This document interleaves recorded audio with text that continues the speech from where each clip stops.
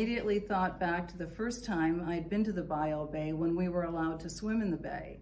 I remember feeling the electric energy all around me, but it was much more intense this time. It felt 19...